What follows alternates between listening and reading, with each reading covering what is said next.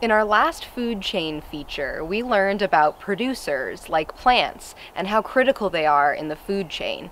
We also did some exploring to see how many producers exist all around us.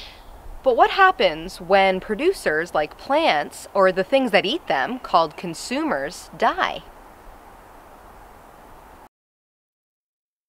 They decompose, or break down into soil. But those producers and consumers don't just turn into soil on their own.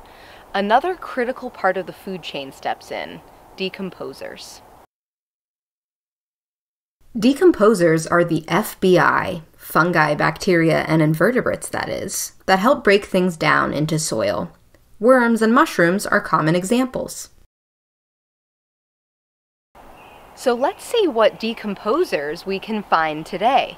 A great place to look for decomposers, of course, would be in your compost pile if you have one, or under fallen logs and other kinds of things that you can see that are breaking down in the forest.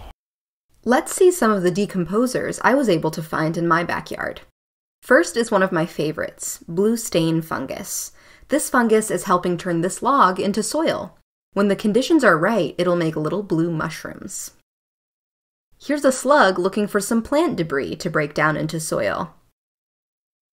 If you ever see a mushroom growing on a tree, it probably means that some part of that tree is dead and is likely to fall down someday soon.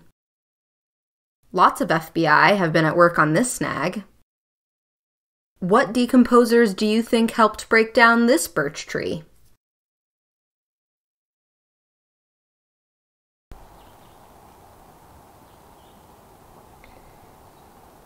Decomposers are so important to the food chain that some people, like me, actually farm them. You might have a pet dog or cat, but I have hundreds of pet worms. I feed them scraps from the producers I cook with, like carrot tops and garlic skins. Then every few months I collect their castings, also known as poop, and add it to my houseplants and garden to help them grow.